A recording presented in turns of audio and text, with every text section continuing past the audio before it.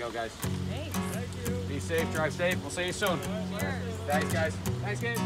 The world I signed the lease for and the world I want to open it, open up the restaurant doesn't exist. You know, it's a whole different world, so it's a whole different business model. And I think for the first about 30 days of the quarantine, the business model changed every day.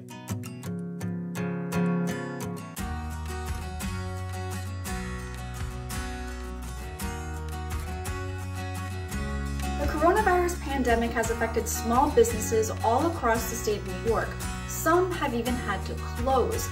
However, I got to speak to one Long Island restaurant owner who opened up his new establishment two days before the quarantine took into effect. And now, to keep his business afloat, he's had to revamp, restart, and rejuvenate his whole business layout. Hi, I'm Rustan Lundstrum, owner of the Coach Meeting House. We opened two days before the shutdown. It was a scary time for us as a business. We didn't know how we'd be able to stay open. We were able to pivot and go to to-go food and also open up a contactless uh, drive-through frozen drink bar, first of its kind. You would have told me three months ago that on Cinco de Mayo, I'd be batching out a thousand different types of, a thousand margaritas of five different flavors and running a drive-through uh, frozen margarita bar. I would have told you you were crazy. And selling tacos and all the stuff that's not even on our menu or original menu. So it's kind of a crazy uh, pivot and evolve, but I guess that's part of being an entrepreneur and be able to adapt with the times. So you pull into the Coach Meeting House right here. Follow these lines.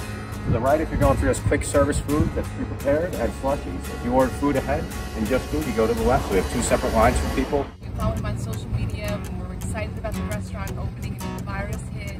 And we've just watched him the now there's like amazing drive-through. And we've got the drive-through movie coming up. And like everybody kind of follows him every day. And they see what's going on. And now we've got slushies and we got dressed up. And it's just like great to see faces quick. And we just can't wait, you know, to keep supporting them. really cool to be a part of something that people generally get happiness from.